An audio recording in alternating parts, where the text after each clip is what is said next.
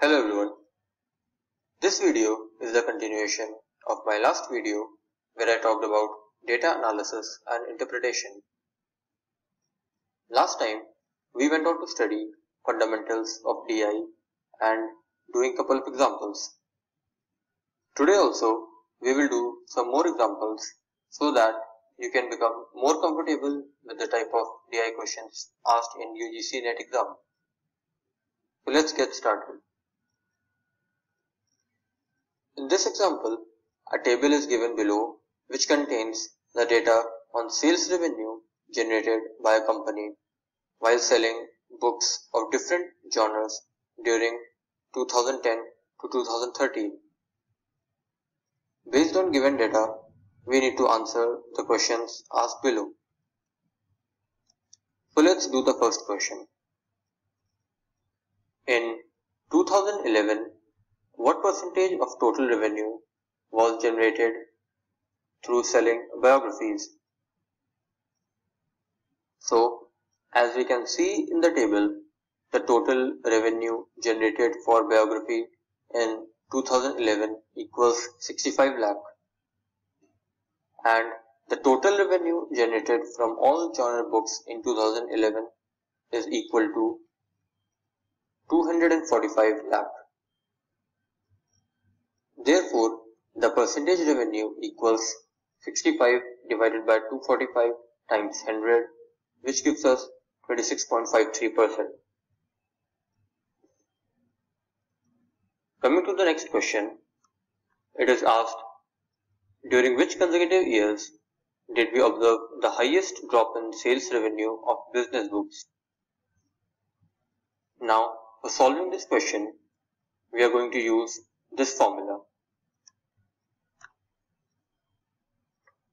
By percentage change, I refer to percentage growth as well as percentage reduction, depending upon the question. It is a very important formula and is almost always required to solve DI questions in NET exam. I recommend you to learn this formula by heart. So let's apply this to our data. First, we calculate the percentage change in the sales revenue of business books during 2010-2011. So, look at the table. Here, we have an initial sales revenue of 92 lakhs and a final sales revenue of 85 lakh. Therefore, the final minus initial equals 85 minus 92. That's what we have done here. So, we have final minus initial 85 minus 92 divided by the initial value 92 and then multiplied by 100 in order to get the percentage. The negative sign indicates a drop or decrement in our final value. So, during 2010-2011, a drop of 7.6% was observed in the sales revenue of business books. Similarly, we calculate the percentage drop in the sales revenue of business books for these consecutive years. And on comparing, we see that during 2011-2012, the highest drop in sales revenue for business books was observed. Coming to the third question, if the year 2014 were to show the same growth in terms of total sales revenue of fiction books as the year 2013 showed over 2012, then the revenue in 2014 for the same is expected to be approximately 1. So let's try this by applying this formula of percentage change. We have growth rate in the sales revenue for fiction books during 2012-2013 equals final minus initial divided by initial times 100. So in 2013 the sales revenue was 67 and in 2012 it was 63. Hence goes this expression.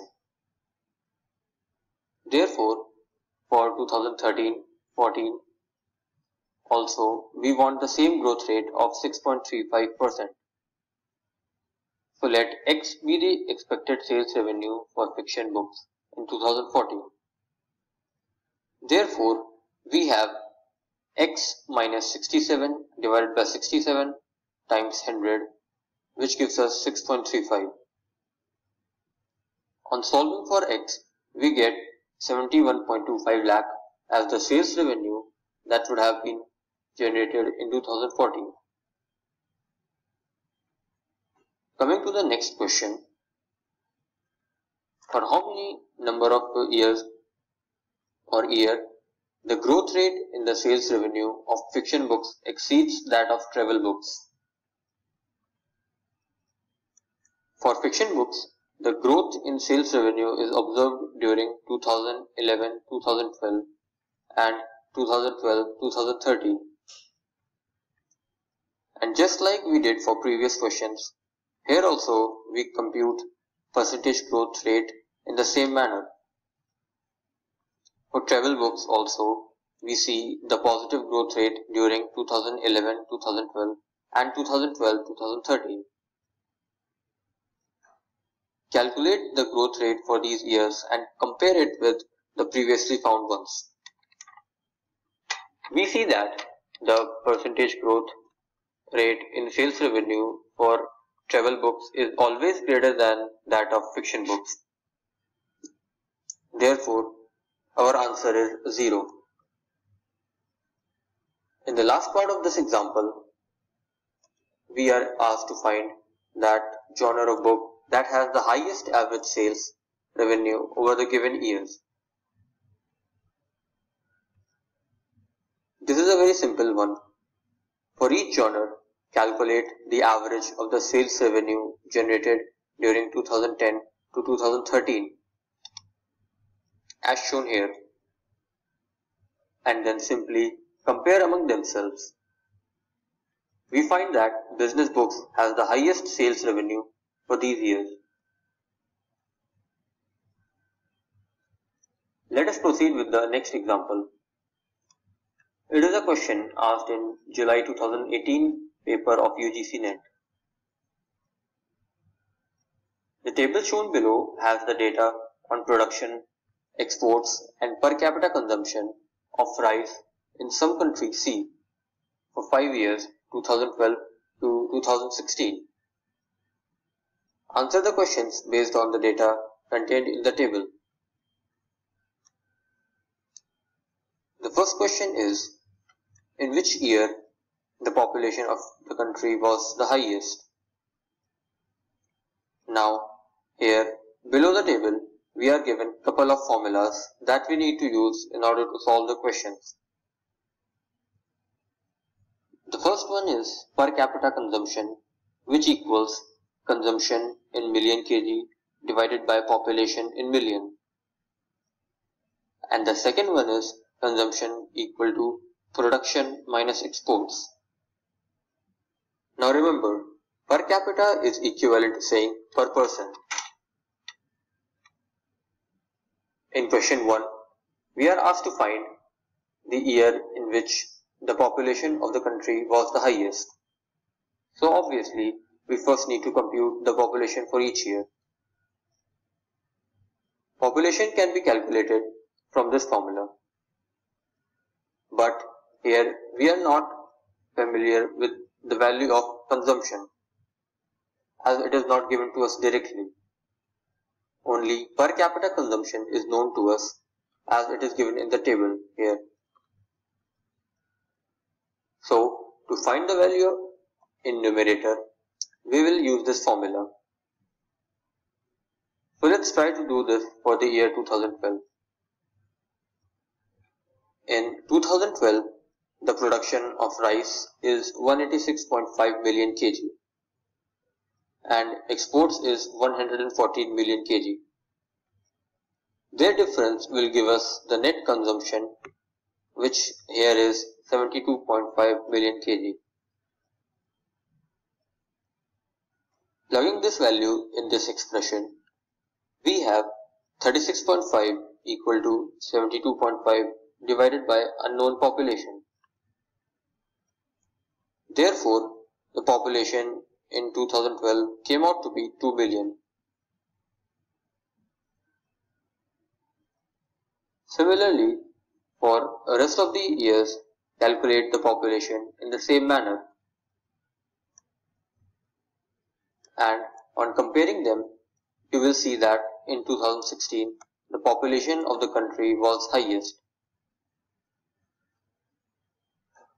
In question 2, we are asked about exports to consumption ratio and when it was highest. So, all we need to do is find this expression for each year. In 2012, we have an export of 114 million kg. In the last question, we have already found out the consumption value which is 72.5. Just divide these two numbers and you will get the answer. Do the same for each year and you will see that exports to consumption ratio was highest in the year 2012. In question number 3, we are asked to find the population in 2014, which we already found while solving question 1.